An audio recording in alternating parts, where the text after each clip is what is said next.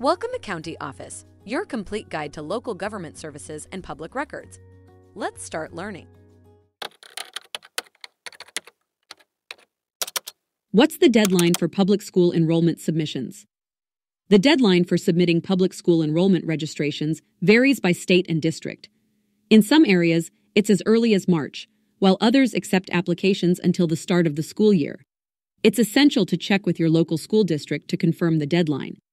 Many schools have online registration systems, making it easy to submit your application. Parents should provide all required documentation, including proof of residency, immunization records, and birth certificates, to avoid any delays. Missing the deadline could mean your child won't be able to attend the school of your choice. Stay informed and submit your registration on time. Take a look at the links in the description below to learn more. If you have any questions or want to share your thoughts, leave a comment. We're here to help. Thanks for watching our video. Be sure to like, subscribe, and leave a comment below. We'll see you in our next video.